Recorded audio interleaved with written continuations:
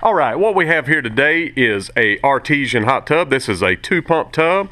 It's got composite side panels. It's got a waterfall right back there. It's got neck jets right over there. It's got foot jets right here. It's got what we call an ambiguous lounge. You can sit here and put your feet out here.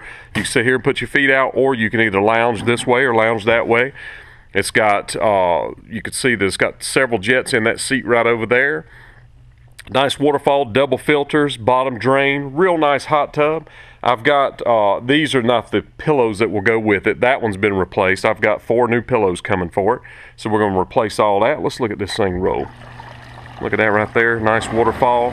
And you can actually turn, it's got a uh, LED light in it as well. It changes colors. You can turn the waterfall off and on with this control. You can turn these neck jets off and on with this control. So if you don't want it to splash on you, you can do that. We're gonna turn the air on right there. Look, boy, she's going to town. Then we're gonna turn the air on for this side right here. She will go to town pulling air. Got a lot of power. Nice hot tubs, got pump two here as well. She'll really rock and roll. Real nice hot tub.